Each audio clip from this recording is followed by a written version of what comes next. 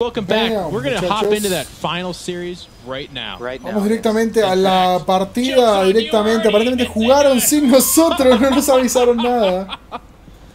Wow. Uh, they start without us. So what happened here, real quick? Haswabs did lose his natural. Hasselhoff uh, perdió su as base you can natural. see, the natural just now goes down for Deers. It's a bit of an exchange.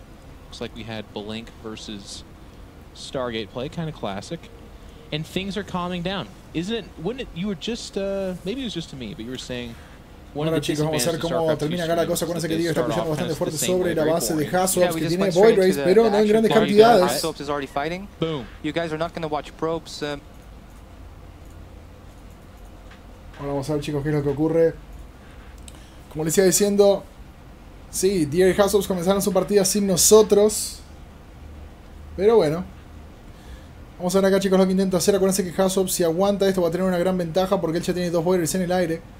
Así que es una muy buena cantidad de daño. Acá vemos cómo levanta también incluso a los Stalkers con los Phoenix. Sin perder ni... Va, pierde uno justo. Dos más. Tenemos ahora chicos uno de los boilers que cae. El segundo también cae directamente. Y esto puede ser una victoria para Deer con un poco de suerte. Excelente micro acá por parte de Deer. La verdad que nunca había alguien que juegue con tantas ganas. Con algo así. Deer chicos también termina en este momento. Consigue el GG. Justo también terminaba su nexo en la natural. ¡Woo! Primera partida que pasó volando.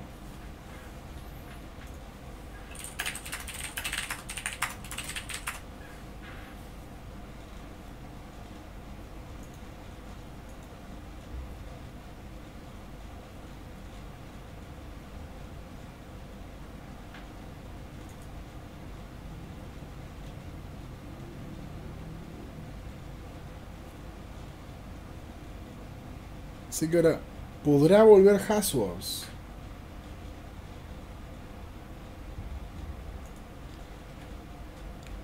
Acuérdense que le ganó a Jigen y todo Haswabs y si pierde todo se va a la basura. Y acuérdense chicos que acá en la Open Bracket, en la final de perdedores, no hay otra escapatoria más que ganar para llegar al torneo.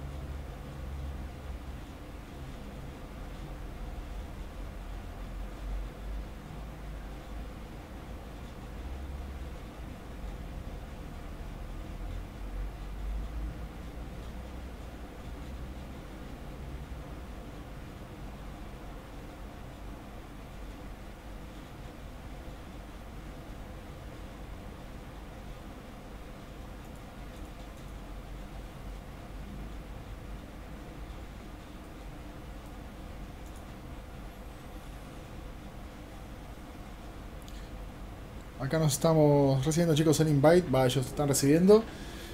Nos estaba recordando en control que esto es nada más para clasificar al torneo principal, donde en el torneo principal se juega por 100 mil dólares.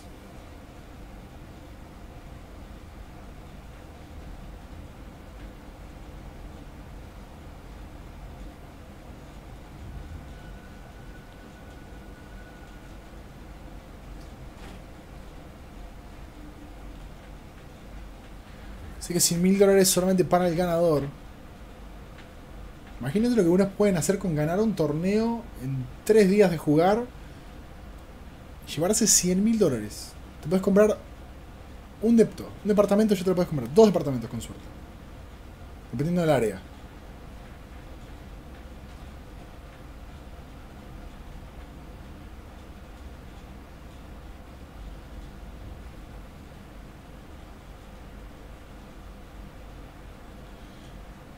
Están hablando ahora del Real Madrid. Incontrol y Red. Y le pregunta a Red si sabe algo acerca de fútbol. Y Incontrol dice: Sí, creo que Pelé todavía sigue siendo un buen jugador.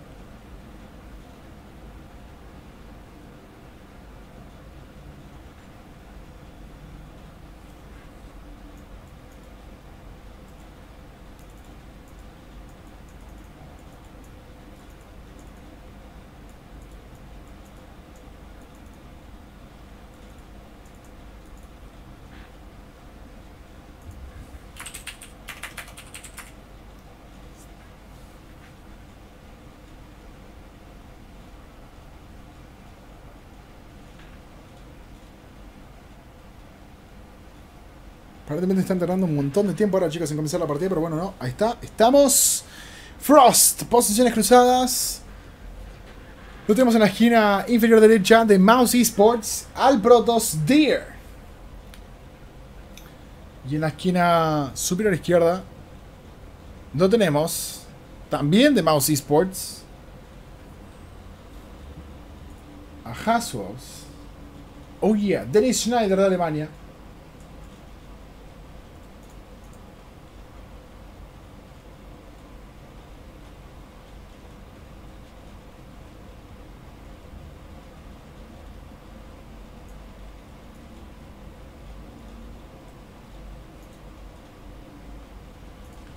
Todos ahí chicos dándole el apoyo en Twitter aparentemente a los jugadores porque están hablando chicos acerca de precisamente eso mismo.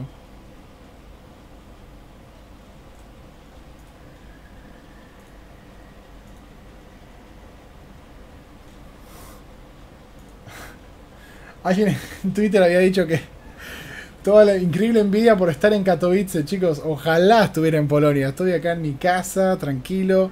Y de todas las casas que podría estar, estoy en Buenos Aires. Así que la envidia va a decrecer bastante. Soy una. Soy un generador de desenvidia total.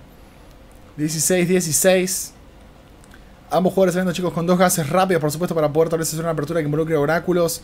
Para cubrir distancias rápidamente y hacer un poco de harass en las líneas minerales.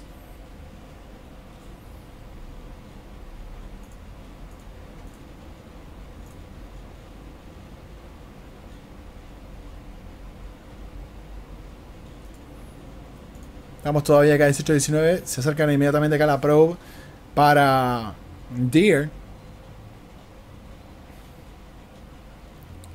Hassobs tranquilo. Sale con el scout.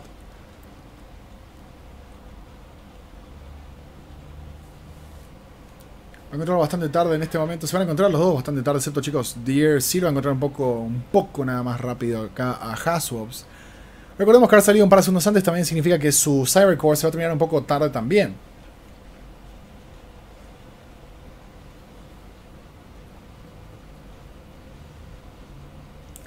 Seguimos 23-23 ahora con un de Council en camino para Deer. Aparentemente ninguno de los dos va a ir por esa tan esperada Stargate a Oráculos, ¿no? Van a ir directamente por Twilight Council. Hay que ver si van por un all de Blink Stalkers.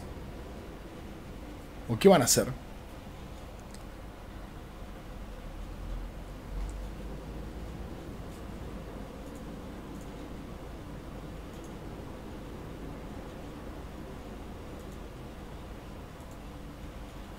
Estamos 28 a 27. Ahora, chicos, tenemos una Dark Shrine en camino para Deer.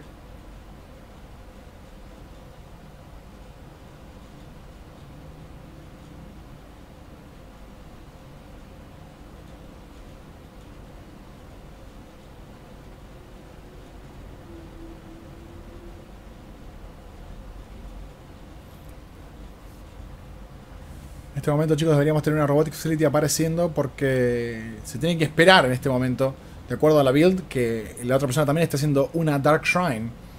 La Dark Shrine de Tier muchísimo más rápida que la de Haswobs. Pylons agresivos para los dos.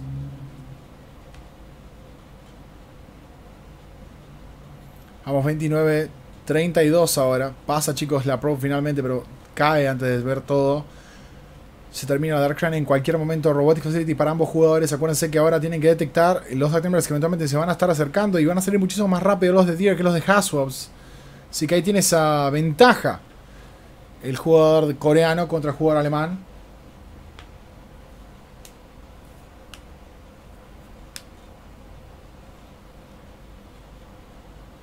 Seguimos 30-35 en este momento. Dark Templar que es transposicionado directamente hacia la base principal donde va a poder matar, matar un par de unidades. Con un poco de suerte. La de Hassops no creo. Ahora vamos a ver cuánto daño puede llegar a hacer. Deer encuentra el Pylon. Ya sabe que eh, Dark Templar está en camino. No tenemos ni siquiera ralentización, chicos, acá de Dark Templar. Y tenemos un Chronobus al Observer. Pero esto va a dejarlo en una mala posición a Hassops. Porque ahora tiene que parar de minar en este momento. Excelente force que acaba de poner Deer. Y tenemos acá al Observer afuera. Así que chao, Diris. Incluso también lo atrapa. A uno que estaba fuera de posición. 36-40. El acá todavía sigue con vida de alguna manera. Lo va a intentar hacer el escape acá máximo. No va a llegar a hacerlo. 36-38. De todos modos, mata un par de trabajadores. Algo más de lo que hizo Haswops. Totalmente.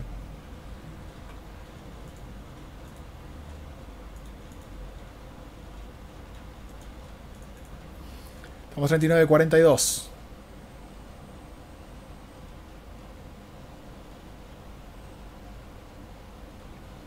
Hicimos 42-42 en este momento, chicos. Forja al 50% para Deer Haswops. Está comenzando. Y lo tiene al 25%. Así que tiene aunque sea esa ventaja.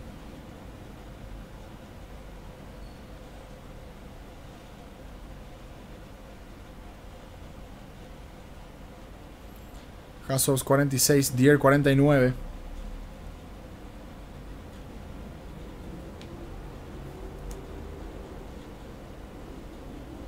En este momento Hasselhoff, chicos, aparece ahora con un War Prism que puede empezar a transposicionar en la base principal de Deer sin que Deer se dé cuenta y eso puede salirle bastante, bastante bien. Igual Deer tiene la ventaja por haber entrado anteriormente. Acuérdense de eso. Y lo mantuvo obviamente sin minar durante un par de segundos al menos. Estamos 58-57.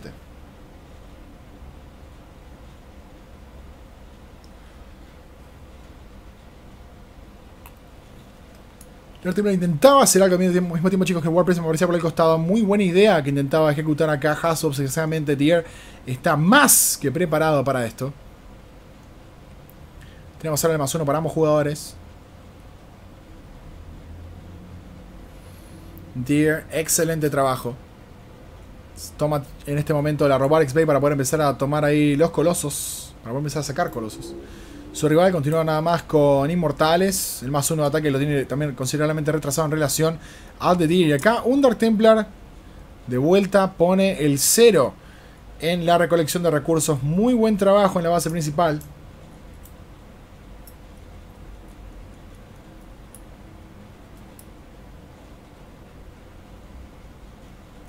Acá de vuelta Dark Templar 8, perdón, 6 muertes, 7 muertes. Ahora logrará tal vez una octava con un poco de suerte.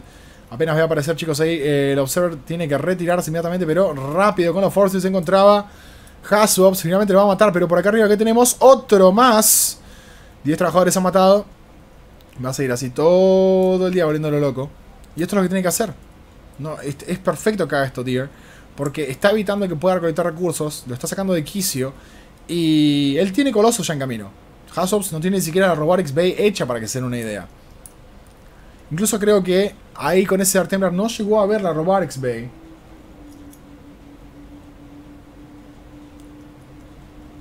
Estamos 70, 77.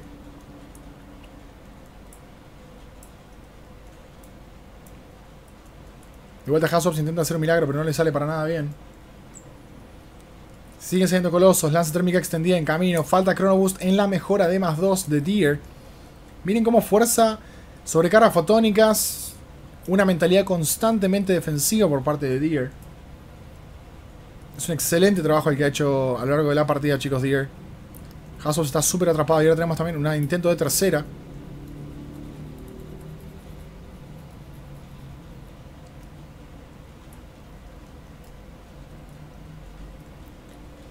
Estamos 75-91. Descarga y a molestar una prueba aunque sea algo es algo.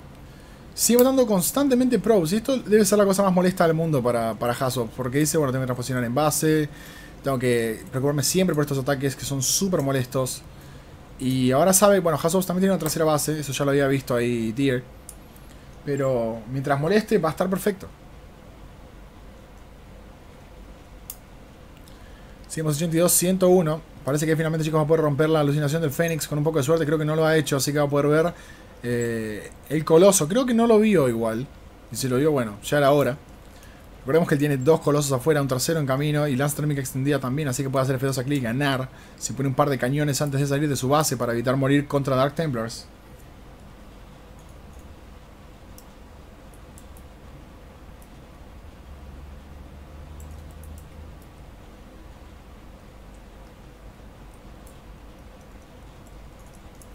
Seguimos 91, 105.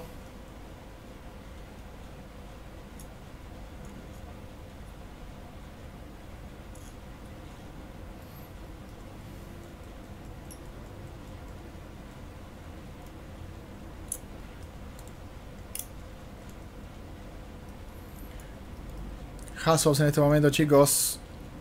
Se va adelantando. Tenemos ahora lanza enemiga extendida. Charge para los celots al 50%.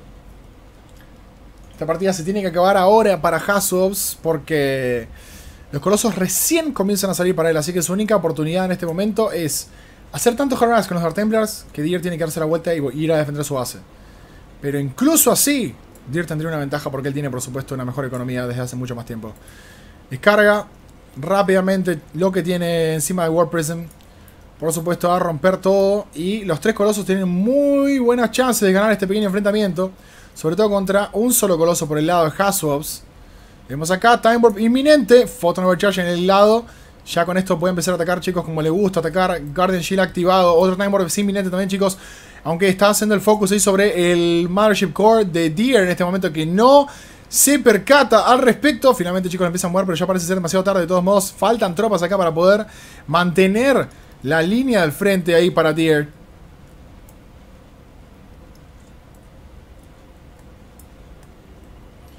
Estamos 111, 127. Vuelve a molestar acá con un Dark Templar, chicos, a los colosos. Le hace falta un Observer, desgraciadamente.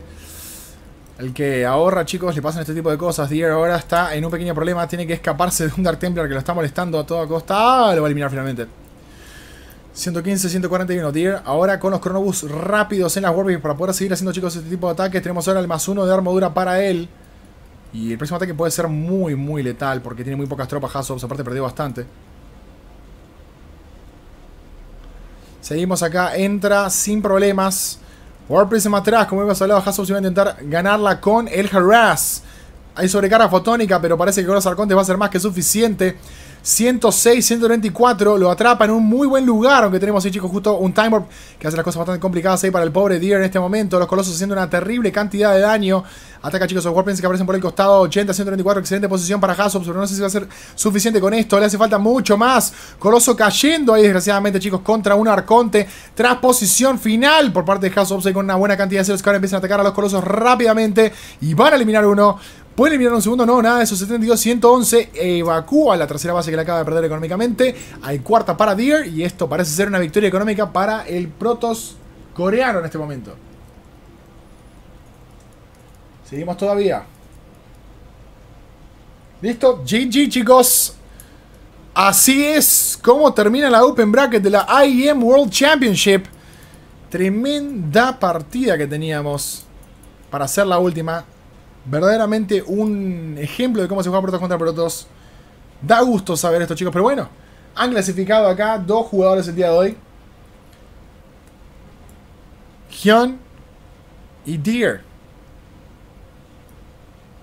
Así que Hassops, chicos, la verdad que se merece el más grande de los abrazos y nuestros aplausos también, porque bueno, Hassops le ganó al, a Jadon, le ganó a Linok, le ganó a grandes jugadores, pero bueno, tuvo que caer acá y contra su propio compañero de equipo terminó afuera. Así que muchachos, así eh, nosotros podemos ir pensando tal vez un poco en, la totalidad, la verdad, que decimos, bueno, tal vez Gian un poco raro que haya pasado, pero bueno, Gian tiene un estilo bastante particular, muy agresivo, sobre todo para gente de Europa que no estaba tan acostumbrada. Y nosotros pensamos que fue una muy, muy buena performance por parte de él también, así que totalmente merecido, aunque fue un pequeño upset. Y bueno, después de estas 10 horas de transmisión, 10 horas y 10 minutos, chicos, les damos el adiós a ustedes. Les agradecemos todo, esperemos estar mañana. Si no podemos estar mañana, les vamos a avisar de todos modos. Y si no, nos veremos el sábado y el domingo. Así que eso. Cuídense y la próxima transmisión seguiremos con más, con más Inter Masters World Championship Katowice. Así quedan las brackets para el torneo principal en la ronda 16. Hero Hyun, Sun, MC, Paul, Naniwa, Dear, Liquid Hero Revival, Jackji, Oz, SOS, Stage Stardust y finalmente Rogue contra Life. Así que esperemos chicos que estén todos preparados para lo que va a ser la AM en el resto de estas fechas. Ustedes espero que tengan muchísimos snacks porque es un fin de semana puro StarCraft 2. Y bueno, nos veremos en la próxima transmisión. Adiós y chao, chao, chao.